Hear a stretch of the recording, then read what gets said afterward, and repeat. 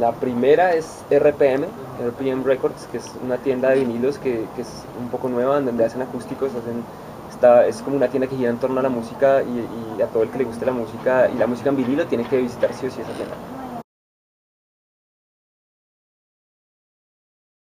Eh, Árbol Naranja, obviamente, que es como también nuestra, como nuestra casa la que nos ha ayudado con todas las cosas y, es, o sea, es una productora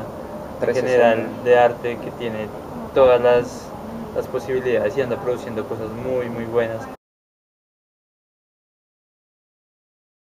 Definitivamente para melómanos, eh, todo lo que tenga que ver con IDARTES, que es eh, pues, el apoyo por parte del distrito para todo lo que es artes. Entonces se promueven muchos conciertos que son gratuitos y, y se pueden ver muchísimas buenas propuestas. Entonces está festivales como Festival Centro,